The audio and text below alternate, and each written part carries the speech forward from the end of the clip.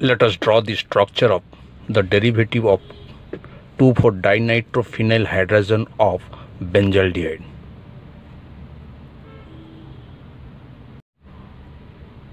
Watch the video till the end to know the concept in detail. Hello, welcome back to my channel. In this video, we'll discuss about the structure of the derivative of 2,4-dinitrophenylhydrazone of benzaldehyde.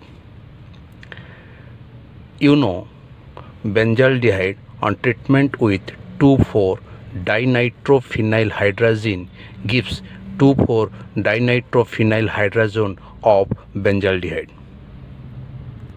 This is a nucleophilic addition reaction followed by elimination of water. The reaction takes place at optimum pH of 3.5. Here 2,4-dinitrophenylhydrazine is also known as Brady's reagent.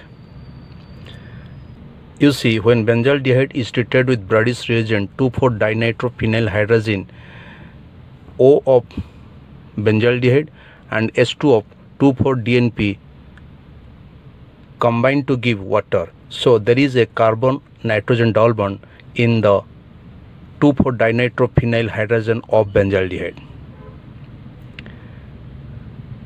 Let us discuss the reaction in detail. You know benzaldehyde can be added with a nucleophile. Ammonia is a nucleophile. Why? Because there is a lone pair on nitrogen atom. When H atom of ammonia is replaced by NH2 group, hydrazine is produced. Hydrazine is also a nucleophile. When H of hydrazine is replaced by a phenyl group, we'll get phenyl hydrazine. You see the structure of phenyl hydrazine is written on the screen. If two NO2 groups are attached to 2 and 4 positions of phenyl group, then 2,4-dinitrophenylhydrazine is produced. That is known as Brady's reagent. The derivative of ammonia 2,4-dinitrophenylhydrazine being a nucleophile can be added with benzaldehyde which has a carbonyl carbon at pH 3.5 or in presence of acid. Formation of tetrahedral addition compound is a reversal process. Then rapid dehydration takes place to give the product that is 2,4-dinitrophenylhydrazone of benzaldehyde. When H plus of the acid at pH 3.5 is treated with carbonyl compounds, you see H plus is connected to the oxygen of the carbonyl group as shown oxygen carries a positive charge. Oxygen being electronegative withdraws the pi electrons from CO bond towards itself. So carbon gains positive charge which allows the lone pair of ammonia derivatives to form a bond. Then nitrogen of ammonia derivative gains positive charge. You know nitrogen is electronegative.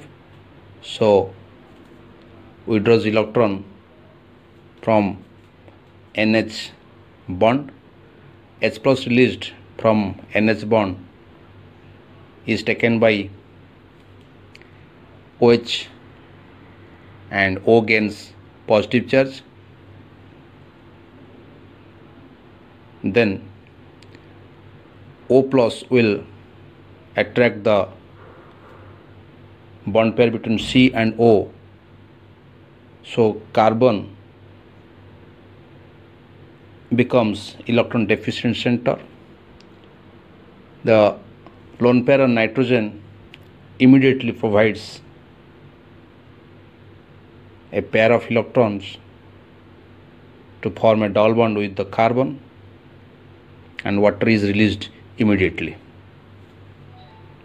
And there is a double bond between carbon of carbonyl compound and N of the ammonia derivative.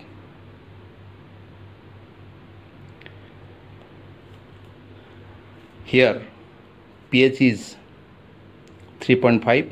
If the pH is more or the solution is more acidic, the H plus of the acid forms ammonium salt with ammonia derivatives. So the lone pair of nitrogen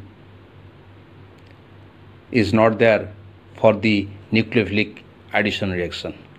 If pH is less than 3.5 then H plus cannot attack the O of carbon carbon.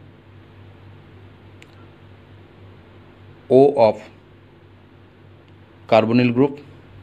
So the positive charge on carbon is not developed. So ammonia derivative being a nucleophile ammonia derivative being a weak nucleophile cannot attack the carbonyl carbon. So here pH should be maintained at 3.5 thank you for watching the video till the end. Stay safe and take care. Bye bye